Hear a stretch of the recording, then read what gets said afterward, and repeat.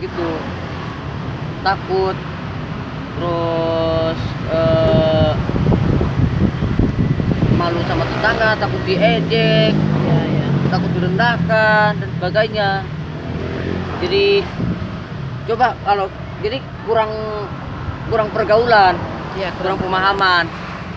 Nah di sana di sana juga seharusnya kita sebagai orang tua kita sebagai orang tua itu seharusnya kasih keleluasan Iya, kasih iya, waktu iya. untuk mereka Iya. karena biarlah mereka itu biarlah anak itu untuk ber apa bersosialisasi bergaul Iya, dengan orang-orang. Iya.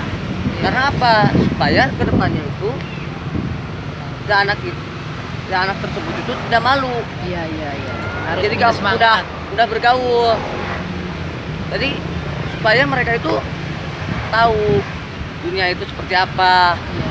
Teman itu kayak gimana ya rata-rata orang-orang itu mengurungkan diri mengurungkan diri karena ya karena ketakutan seperti tadi saya bilang Iya, Kak. iya, coba kalau seandainya kita biarkan dia main di depan rumah bergaul dengan tetangga Iya. biarkan dia mengenal benda-benda di sekitar Iya, Kak. Iya, biar biarkan mereka belajar bagaimana caranya untuk belajar lebih baik Kak. Mantap. untuk bergaul dengan teman bergaul dengan tetangga gitu loh.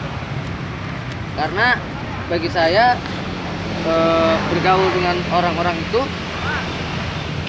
tidak semudah apa yang kita bayangkan gitu loh